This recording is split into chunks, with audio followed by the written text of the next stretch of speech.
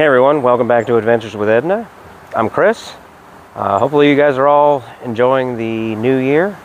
Uh, it's a little wet and cold out here today.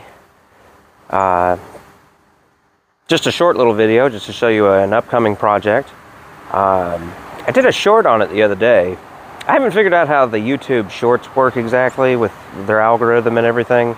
But it's funny because I posted a 15 second video of Edna just idling and the last I checked, it has 2,200 views on it. So I was like, hey, I should do another short. So I did another one of Chance's new water bottle uh, with the Adventures with Edna logo on it. And the last I checked, it has 16 views. So nobody watched it. So I thought I'd make another one, and I did a coming soon video on what we're about to show you today also 16 views. So I don't really know how that works. It's kind of weird how, because some of the shorts have done really well. I think I have one that's like at almost 5,000 views, and I have other ones that just haven't really done well at all, like these two past ones. So it's funny how all that works. Um, but anyway, uh, so a new project that I've been working on for a while now. I shouldn't say working on. Uh, it's mostly just been uh, checking out fabric stores for something I wanted to do to Edna. Um, I've been watching, you know, I watch a fair amount of YouTube myself, and there is a lot of old hot rods and that you see that uh, have custom interiors in them. And even though I've already redone the interior on Edna, uh, I really like some of the plaid uh, accents that some people put in theirs, and I kind of want to do the same thing here on Edna. So I've been trying to find some kind of green plaid that kind of matches uh, the paint on Edna, and I finally found it. And I found it uh, a couple weeks ago when Chance and I checked out the marketplace on Main in Cowpens, and I found one that I thought would work great. So in the last video where well not the last video. In the video where I got the Christmas tree I ran into uh, that same antique store and got those trains on the video. But what I didn't show was I got the fabric while I was there. Um, so anyway, what I'm wanting to do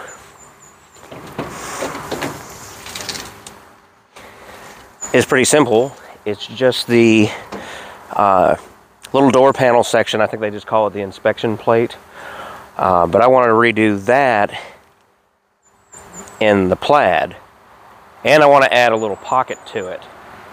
Let me get you guys in here closer. Have to forgive me for Edna's dirty interior. We did some we did some man work yesterday and did mulch, so she's a little dirty at the moment. Uh, plus the rain last night. But anyway, so I want to redo this panel uh, in the plaid. And back when I first did the interior, I bought this vinyl and just glued it to the panel and put all new stainless steel screws in all the way around uh, to get that uh, it's looking good because I kind of like the idea of it being a different color than the actual door itself. So, but even though it's been about three years now, it's already starting to come off a little bit around the edges. Uh, and so, kind of want to redo it. Uh, just add a little bit of thing. And another thing I wanted to do while I'm in here is putting like a pocket, like right here, something to keep like my sunglasses in uh, or other small items. Uh, when you close the door, uh, if you look over here, the main part of the inspection plate is behind the seat. So it doesn't have to have like a full pocket in it. And so I'm going to have it kind of towards the front of the door. And I've been looking at different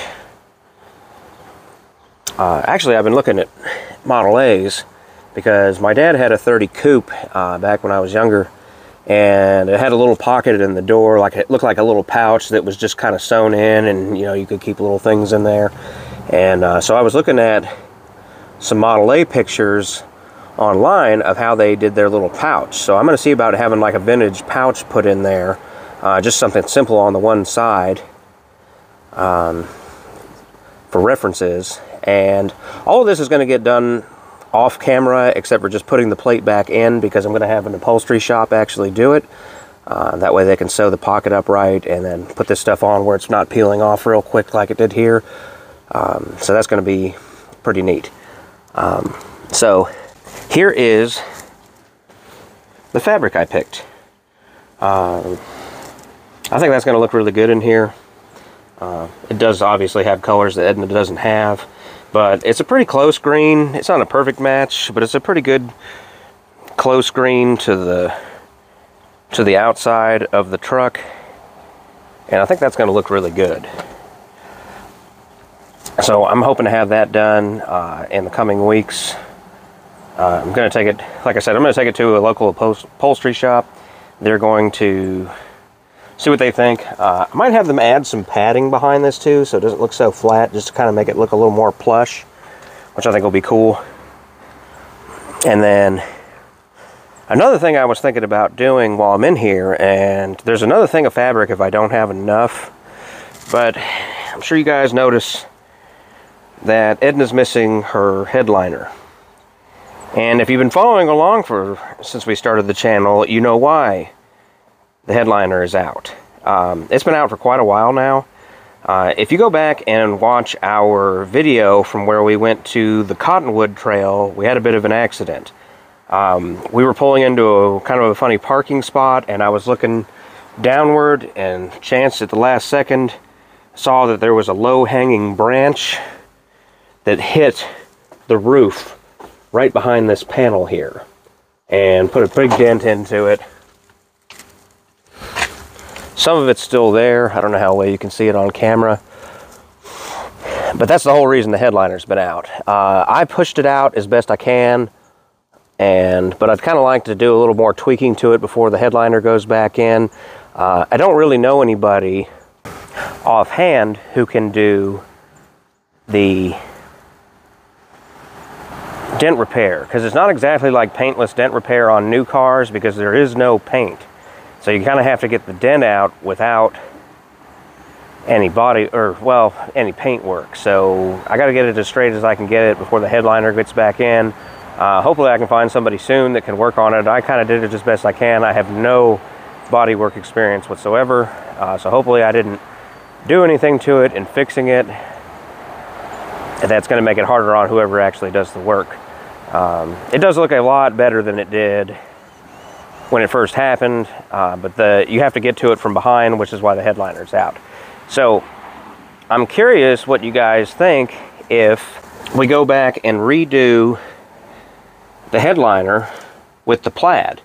So it won't be too noticeable. So it'll still kind of have the gray around the sides, uh, but then from there up, it will have the plaid, which I think is going to be kind of cool. So I'm kind of kind of leaning towards it. Let me let me know what you guys think in the comment section below. Uh, if you think I should do the headliner uh, with the door panels, um, I think it'll be kind of kind of neat uh, as opposed to just going with this. This is actually wool, uh, which I was kind of worried might fade a little bit, but according to everything I read online, uh, people like wool in their cars, and I guess it holds up pretty well, so that's good. Could maybe do the the sun visors too, because that could be neat. Uh, don't want to get too crazy with it, um, but I think it's going to be cool. Uh, give Edna a little custom, little custom work on the interior. Another little project I've got going is the license plate situation. If you guys remember when we did the uh, new chrome bumper, which still looks pretty awesome, um, the it's the brackets I used give it the bumper tuck. Uh, so it's it's not as low as it would be and it's really close to the body. So it completely blocks off the license plate. So something we had to do to get the license plate in was I had to figure out where to relocate it. And this is what I came up with, which I actually really like. Uh, it's got a nice frame on it, uh, kind of help keep it sturdy. Uh, we used some little brackets to put that in down there. But the unfortunate thing is uh, the license plate light, which is right under the tail light here, doesn't reach the license plate anymore. So if I'm driving around at night, there is no light on the license plate. Definitely don't want to get pulled over for that sort of thing. So I've come up with a solution. I found this little LED license plate light online. Uh, I got it on Amazon actually. And I think it'll hide up under there nicely and then just wire in uh, so it'll just go right up under here and nobody will ever see it. And it'll give us good light on there. Uh, even though Edna is never going to be doing any towing, I did, I don't know if you can see it, I did put a trailer wiring harness in here when I rewired the tail lights. Uh, so I think I'm just going to plug directly into that for the license plate light. So that should make things kind of simple. I still need to do a part three on Edna Gets Wired and get this wiring job finished. I know I've mentioned it in several other videos, but when you got to work outside and it's cold out here, you kind of tend to not want to do too many outdoor projects, uh, especially on an old truck. Uh, so that's kind of been on the back burner. I don't know if I'm going to add this as part of the Edna Gets Rewired video series, uh, but either way, it should be going on pretty soon. Um, and in the same time I'll go ahead and get the rest of the wiring done both under the hood. I got to redo the headlights. Some of the headlight wiring has to be redone and getting the gauges fully hooked up. Because at the moment the oil pressure gauge isn't connected. So I got to get that up and then just kind of do some wire cleanup put some wire looms on it so it's not just open wires everywhere. So that way it's got a nice clean look when it's finished so that's going to be coming pretty soon. So anyway, again, uh, let me know what you think of the fabric that I picked out for the uh, inspection plates on the doors. Uh, let me know if you think we should do the headliner as well. Uh, I always love seeing you guys comment. Um, I wish I could get more comments from you guys. I always like reading them. Uh, don't forget to uh, like, share, subscribe. Um, do have a pretty good bit of subscribers. We're getting up there slowly. Uh, we're doing really good for our first year, at least I think so. Uh, Chance is really happy about it. He's always really excited when I read some of that stuff out to him, let him know we have how many subscribers he has. Usually when I see him, the first thing he asks me is if we have any new subscribers, so he always likes to hear that. Anyway, thank you for watching Adventures with Edna, and we'll see you in the next one.